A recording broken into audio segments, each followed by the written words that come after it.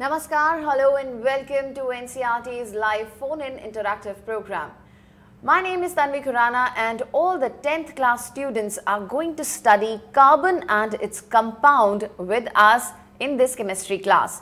This is the fifth part of the same topic. If you have not seen the earlier parts, please watch it on our YouTube channel NCERT Official.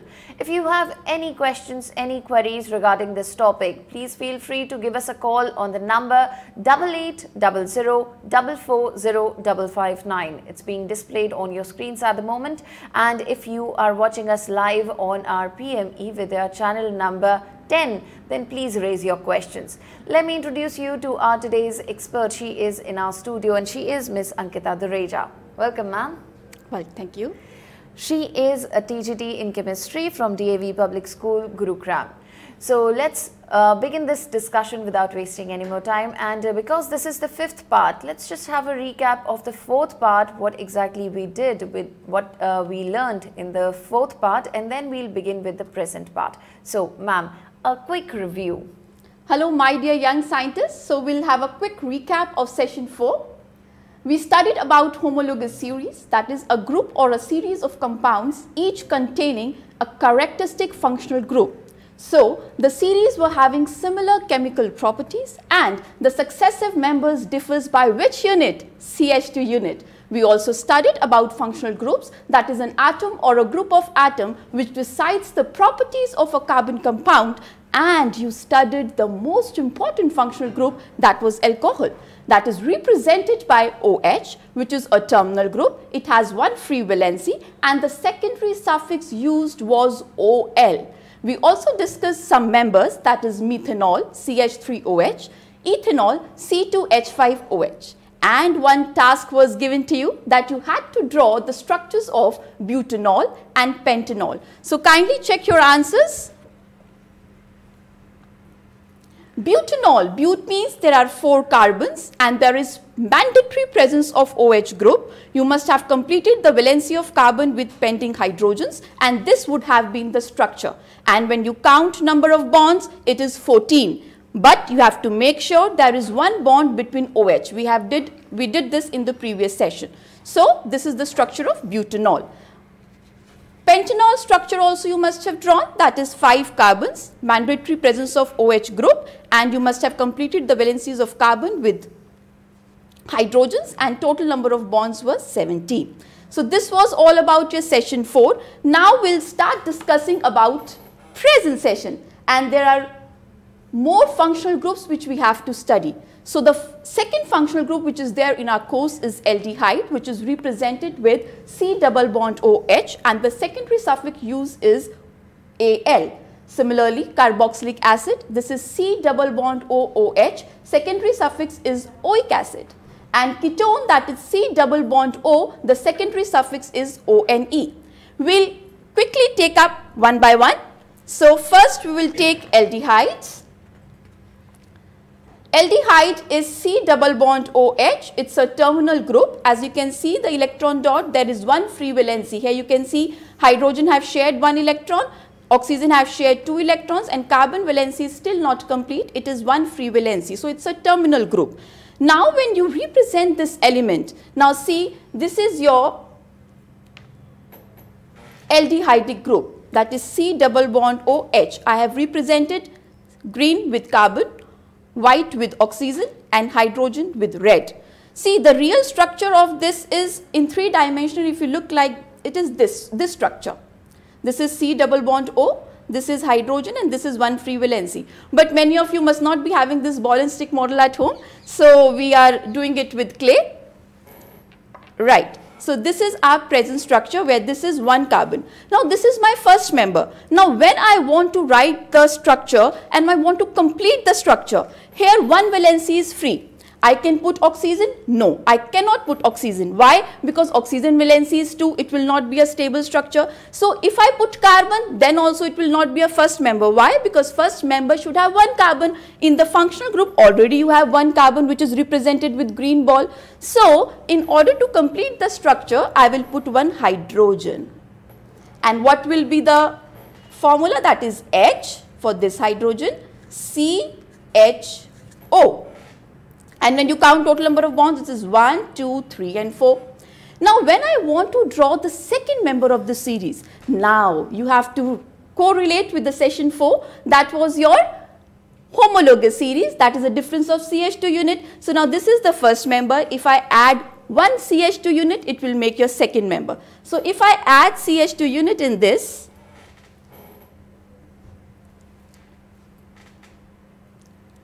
this will be your structure. Can you see? This is your structure. Now see, this is C double bond O, this is the second carbon. Now when I write the molecular formula of this, it will be CH3 CHO. So this is your second member. So when you count number of bonds, it is 1, 2, 3 and 4. 5, 6 and 7. This way you can form different members of the same group and that is so interesting to do. So when I write the name of these compounds, now that was having one carbon. So root word we have already done in previous sessions, it will be meth. And when you write the primary suffix, now it is all derived from ane and al will be the secondary suffix. Similarly, if you write the name here, it is eth a and L. This way you can form the number of series of your compounds and if you look on the screen, you can correlate and you can form this kind of a table where you can put the functional group, you can form the structure formulas, you can write the root word, number of bonds and you can sum up quickly in one table. Now this was all about your aldehydes. Our next functional group is your carboxylic acid. So when we focus on carboxylic acid, it is C double bond O OH. So if you look at the three dimensional structure, it is somewhere of this sort, C double bond O, OH and this is your bond.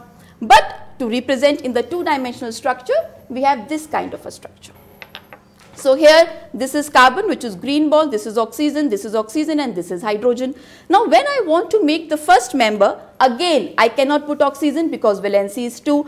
Again I cannot put carbon, why? Because it will be second member. To make my first member, I will simply add hydrogen. And what will be the formula now? It will be HCOOH. And when I write the name here, what I will write? I will simply write meth because there is one carbon, in because always single bond. Now students can get confused here. Tanviji, dekhiye, C double bond O. So there is double bond presence in between carbon and oxygen. Right. So students may get confused ma'am why we have not written in here but you have to see the single bond or double bond or triple bond in between the carbons. This is the double bond which is present in between carbon and oxygen. So this double bond will not consider, we will only consider presence of single bond or double bond or triple bond in between two carbons. Okay. So here this is ane because all are single bond and oic acid is the secondary suffix which we use. So this is methanoic acid. Same way if I want to make the second member, I'll not do anything. I'll simply add one CH2 unit and my things are ready.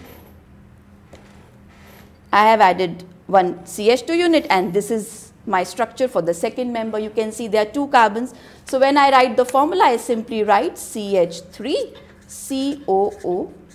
And what will be the name? Two carbons. It is eth, ane because all are single bond, oic acid because it is the carboxylic acid group. So this way you can sum up your carboxylic acids also make the table and create your own structures with this clay and you'll really enjoy and the concepts will be clear within the seconds.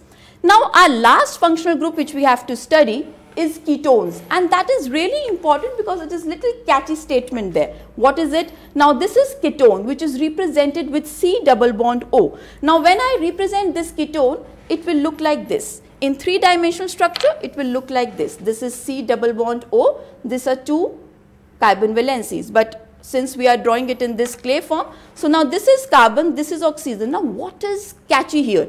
Please see, when you focus on the electron dot structures here, carbon, oxygen is sharing two electrons but carbon two valencies are free. You can see here, one valency is free here and one valency is free here.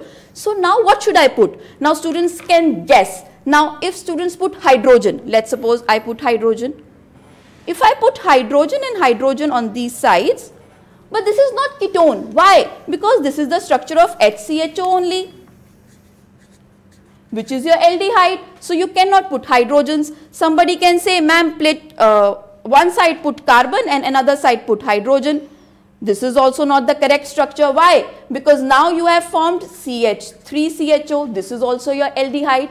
That means when you have to start your ketones, minimum of 3 carbons is required. That means you have to make your functional group that is your ketonic functional group in between two carbons. That is the most important point and that makes your C double bond O group non-terminal. Non-terminal means it should be in between two carbons. So now when I start the series, what I will do?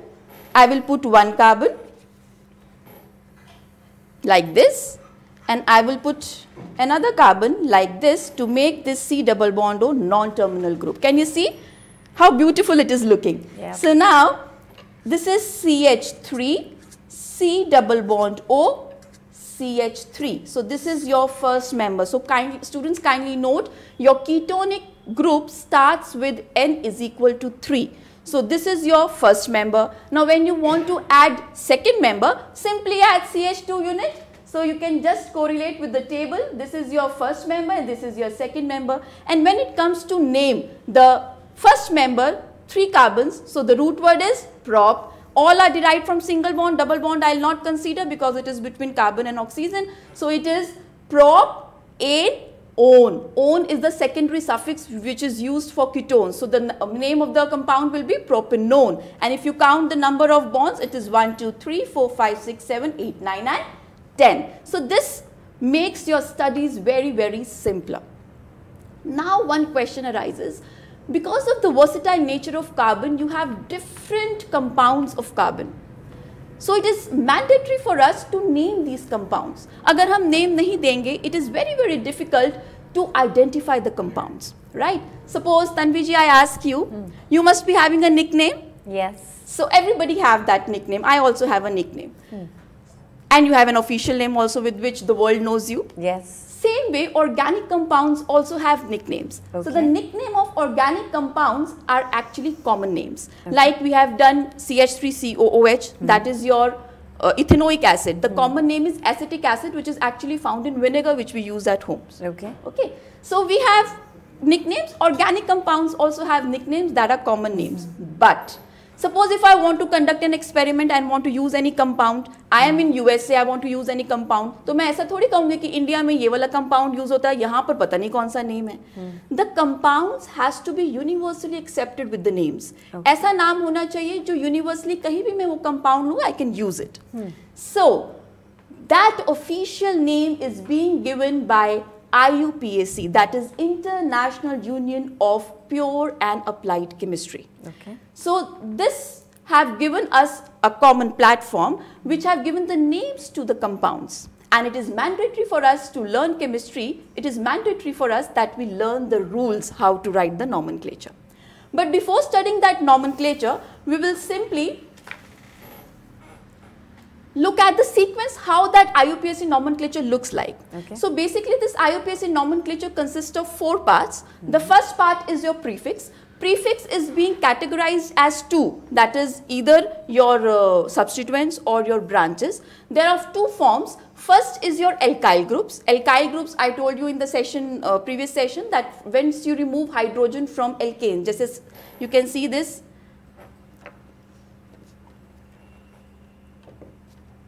This is my methane. If I remove one hydrogen, it will be methyl group. Same way if I form ethane, I remove one hydrogen, it is ethyl group. So this way, this is the prefix and uh, methyl, propyl, ethyl, these are used as a prefixes. I'll let you know in detail what are prefixes in the later slides. So when you talk about other kind of a substituent, that is halo group, halogen group.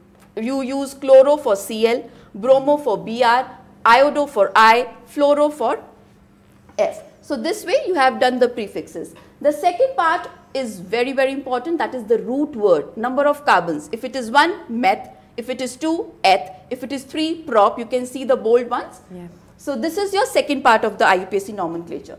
Then the most important part that is your primary suffix. You have to see whether the single bond is present between the two carbons or double bond or triple bond. If it is single bond, ane, double bond, ene, triple bond, ine.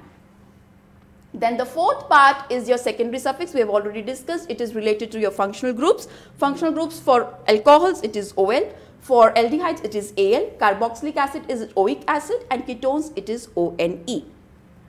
So this will be your skeleton of IUPAC nomenclature. These are the four parts in which your IUPAC nomenclatures will look like. Now we are going to start the most important part of the topic that is nomenclature of organic compounds. Now once you know the rules, it becomes very simpler to name the compounds. So the first rule of naming the compound is to find the root word. Root word means you have to count the number of carbon atoms. If you see the number of carbon atoms as the longest possible chain, then you select it. But we'll do with examples and we'll have more uh, clarity. clarity in the concepts, right? So I would like you all to focus here on this structure. Now if I see it's a straight chain structure. Yeah. Tanviji, how many carbons can you see here? Five. 5 carbons. So my root word will be pent and all are single bonds. So my primary suffix will be ane. So the simplest name of this compound becomes pentane. Now what is this pent? This is my second part which is the root word hmm. and third part is your primary suffix which is ane. So this is the most simplest structure you have already done in your previous sessions. Now you have to focus on this structure. Students, can you see the second one? Yes. Is it visible? Yep. Okay. So now what, what is there? Once you have selected your longest chain, you have to number that chain. Suppose I have selected this longest chain. Whenever you have to select the longest chain in order to identify the root word, kindly make this kind of a circle, like circle here. This way you get a clarity of the longest chain. So this is my longest chain. This will decide my root word. How many number of carbons? 4. So my root word will be 4 that is but. But now you have to number this chain. Once you have to number this chain, you have to make sure that the substituent, now this is your substituent. Can you see this alkyl group? Now hmm. this is of prefix part. This should get the lowest possible number. This is the rule of IUPAC. Suppose if I number it from this end, left to right, and if I number it from right to left. Now this methyl group at when I number it from left to right, it is second position. When I number it from right to left, it is third position. So which is the lowest? Second. So this numbering will be selected and this numbering will not be selected. So now when I write the name of this compound, now methyl is your prefix, so it will be written in the first part. So this will be your name. Can you see? 2-methyl, that is second position, you have specified your alkyl group. This is your first part.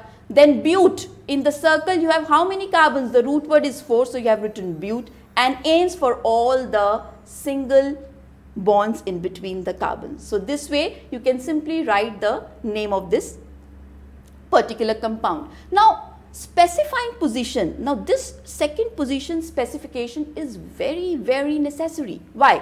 Suppose mother ने घर में कपड़े सुखाए हैं बच्चे को बोला कि आप अपनी शर्ट लेके आइए रेड शर्ट आपकी वहाँ ऊपर मैंने सुखाई हुई है आप उसको लेके आइए। सो बच्चा गया वो कंफ्यूज हो गया ढूंढ रहा है चारों तरफ़। अगर मदर पोजीशन स्पेसिफाई कर दे कि जाओ थर्ड वायर पर आपकी वो उस प्लेस पर मैंने तो उसके लिए बहुत इजी हो जाएगा। So specifying position makes the compound simplification and it is very easy for us to understand and locate the groups so specifying the position is very important here you can remember that Okay. Okay, so we'll shift to next. Up till now we have done one kind of the alkyl group. You can see here in this structure you have uh, two CLs. So this is another type of prefix which is present. Now you have to select the carbon chain. Again this is my longest carbon chain. I will circle it in this manner. Now I have to number it. Tanvi जी आप बताइए कहाँ से number करें so that CL should get lowest number.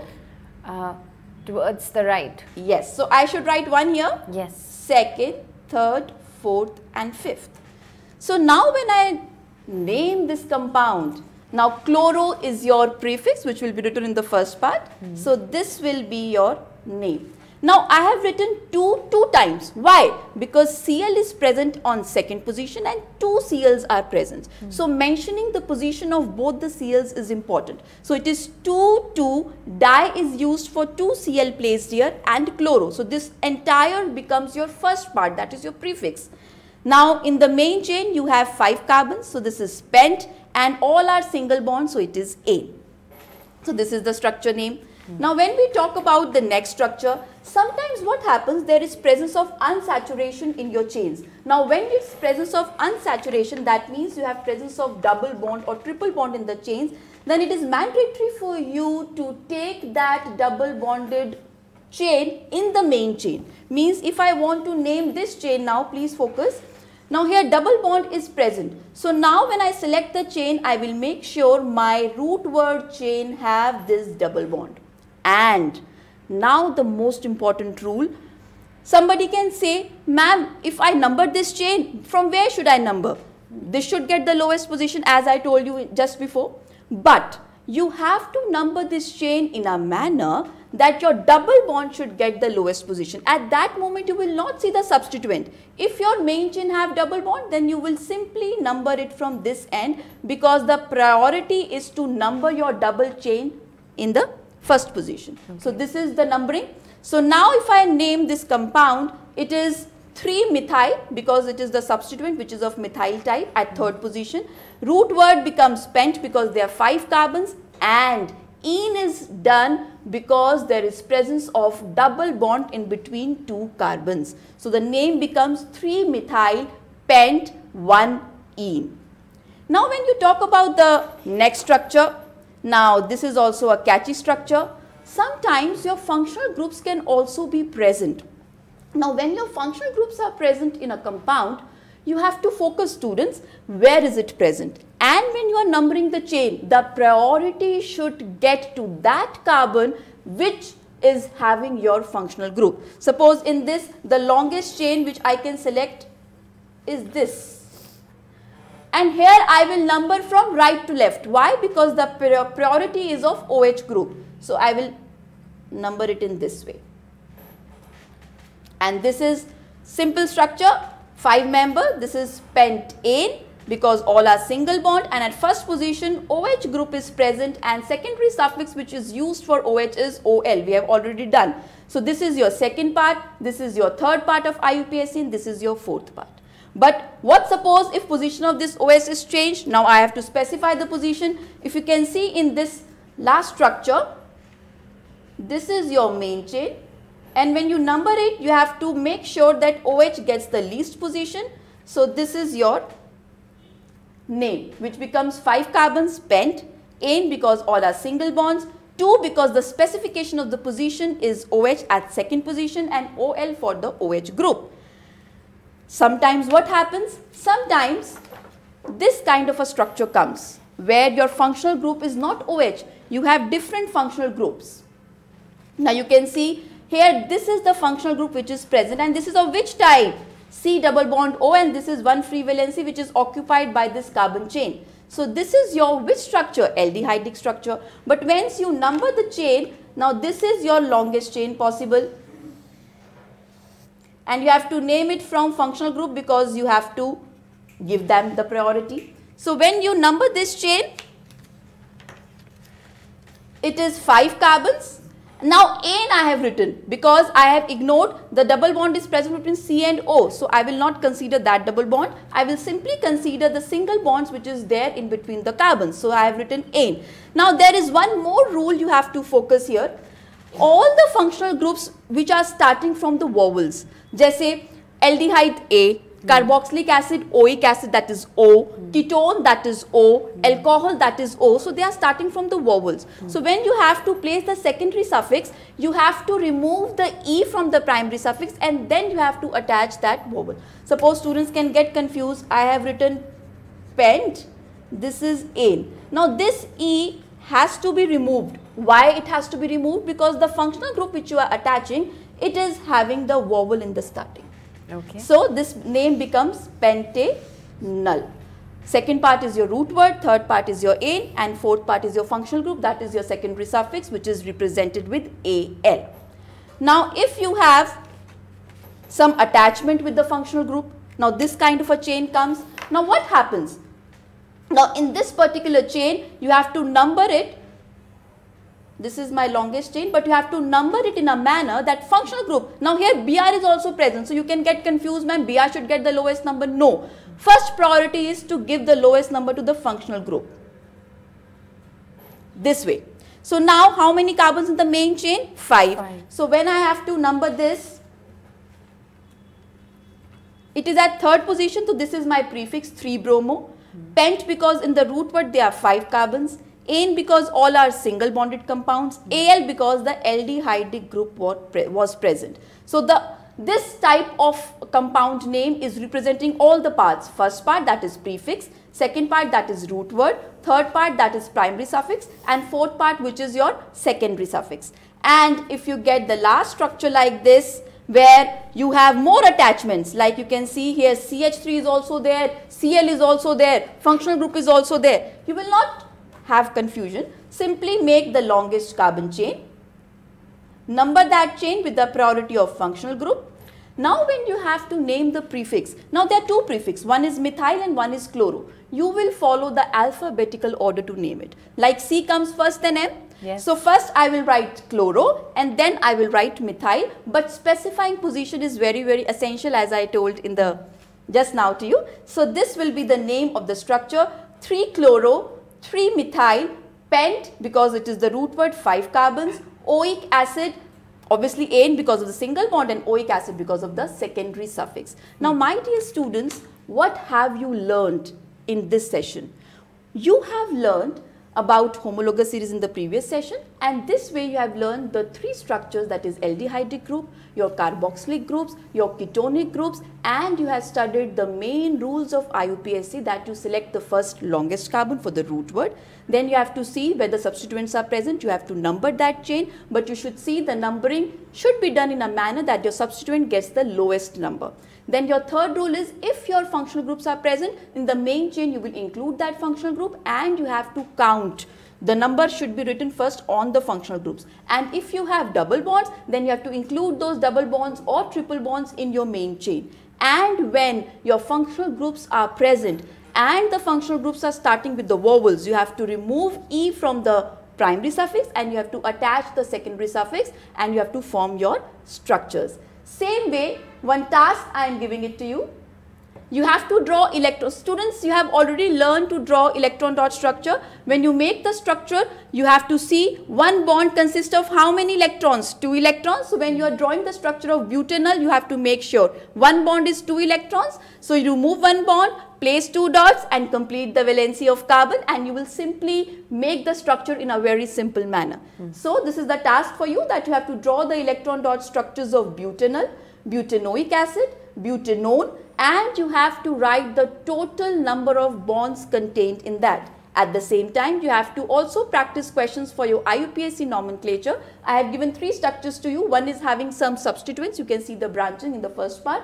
Second part, you can see there is presence of double bond. You have to include that double bond in the main chain and then you have to number the chain according to the priority of double bond. And the third, if you can see here, it is having three carbons one carbon is there in the functional group and Cl is basically done as a substituent. So, you have to number the chain in a manner that functional group gets the least number. So, I expect my viewers to do this homework and in the next session we will obviously uh, do the answers of these questions. Absolutely. So, uh, with this have we come to the end of this topic? Yes, presently we are to the end. Uh, if anybody having any doubts, so I there to welcome the doubts. Absolutely. Send your doubts on our email ID which is dth.class10 at the rate ciet.nic.in. It was such an interesting session and I'm sure you loved it. Watch all the parts in continuation so you'll understand a lot better. Thank you so much ma'am. Thank you so much. Thank you my viewers. Thank you. Thank you to all the viewers for once again for being with us and for learning so much about carbon and its compounds. Stay with us. Don't go anywhere. We're coming back with a Hindi class for all the 10th class students again and the topic is going to be Manvi Karuna Ki Divya Chamak, Sarveshwar Dayal Saxena. थोड़ी देर में हाजिर होंगे and stay with us don't go anywhere take great care of yourself नमस्कार।